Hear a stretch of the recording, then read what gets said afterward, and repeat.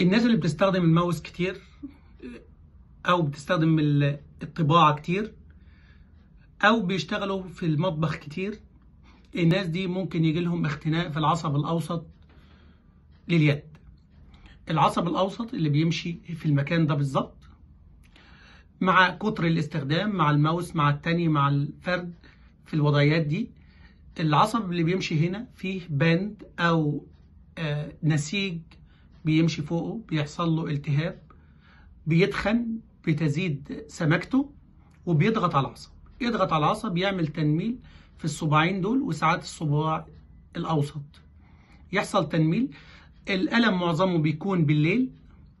المريض عشان يخفف الألم بيهز إيده كده عشان الألم يخف أو يحطه تحت المخدة فممكن الألم يتحسن. ده اسمه اختناق العصب الأوسط. بننصح المريض إن هو يغير عاداته إن هو يقلل استخدام اليد دي. ممكن نستخدم مثبت للمعصم عشان يريحه لمدة معينة. ممكن نستخدم الحقن الموضعي لل للعصب هنا لكن ده حل مؤقت. لو الأعراض دي استمرت شهور بنعمل عملية تسليك العصب. تسليك العصب زي ما إحنا شايفين في الصورة عملية بسيطة جدا جرح لا يتعدى الخمسة سنتي.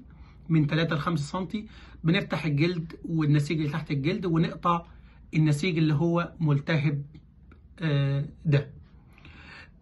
المريض بيتعافى في مباشرة الأعراض بتخف تدريجيا في أول شهر. ممكن في خلال 3 ل 6 شهور تعود الأمور لطبيعتها. طبعا لو رجع للشغل تاني ممكن يحصل انتكاسة في العصب الأوسط ويحصل التهاب مرة أخرى. طبعا من الأشياء الشهيرة جدا في التهاب العصب الأوسط إن بيحصل في نهاية الحمل. طبعا الحمل بيعمل تغيرات كتيرة في الجسم فبيحصل سماكة في النسيج ده فبيحصل أعراض اختناق العصب الأوسط في نهاية الحمل وبيخف بعد الولادة. لو ما خفش بعد الولادة بنتعامل معاه بالشكل الطبيعي أو الشكل المعتاد اللي هو سواء جراحيا أو غير جراحيا. شكرا جزيلا لكم.